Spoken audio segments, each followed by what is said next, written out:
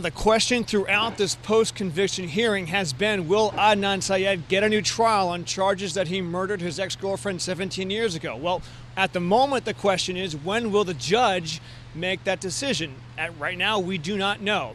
Syed has been in jail since 1999. He was convicted in the murder of Hae Min Lee.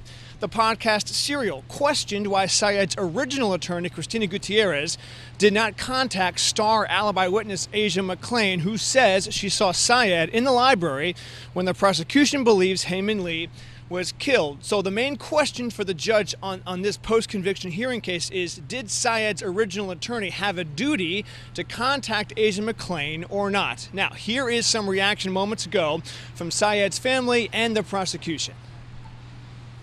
I think that this was an opportunity for the truth to come out where there was definitely some misleading going on as far as cell phone evidence. There was some ineffective counsel with Christina never contacting the alibi witness. So it was just great. This is the first time we are so excited, you know, after 17 years.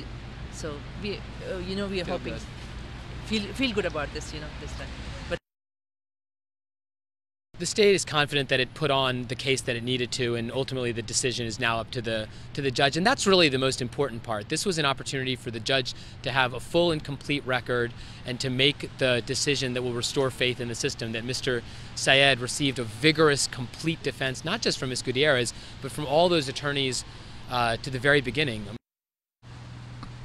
Also, moments ago, I spoke to Syed's current defense attorney, Justin Brown. Justin says uh, Syed is the most hopeful he's been about this case in the past seven years. Again, Justin Brown said he does not know, no one really knows, how long it could take the judge to decide if Adnan Syed gets a new trial.